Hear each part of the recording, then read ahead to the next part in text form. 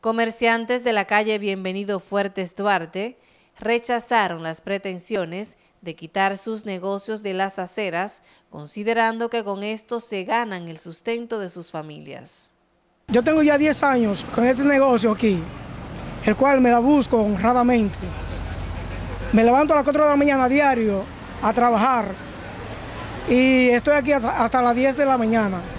Yo el tránsito no obstaculizo a las personas que cruzan por aquí.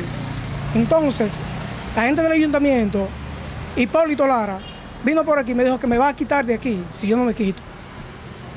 Entonces, yo soy una persona que no me meto con nadie, ni vendo droga, ni, atraco. Así es que yo, eh, lo mío es trabajar.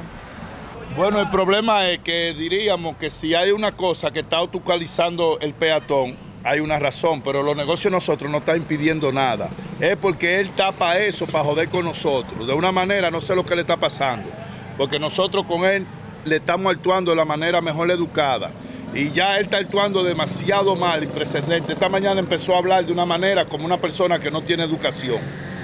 Y eso es lo que nosotros estamos tratando de evitar. No queremos conflicto porque todo el mundo necesita buscarse lo que algo, aunque sea para vivir.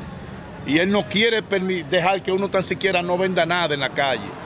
Y si uno no, no quiere que uno no venda nada en la calle, que le busquen la manera como uno vivir. El carrito lo puso Félix nos lo dio Félix para que lo pagáramos a plazo, pagando un impuesto. Él nos puso en un sitio fijo porque no molestábamos.